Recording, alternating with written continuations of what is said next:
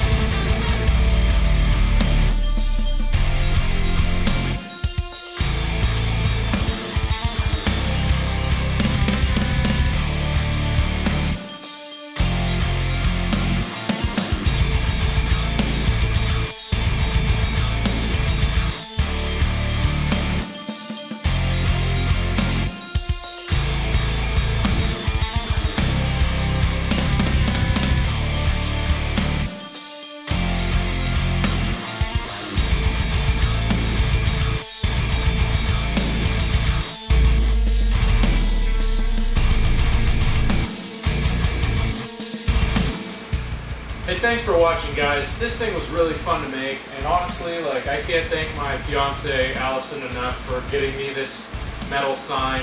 It's super awesome. It was actually her idea to light it up. You know, I think lighting it up made it even cooler. Thanks for watching. I hope you enjoyed the video. Have a good one.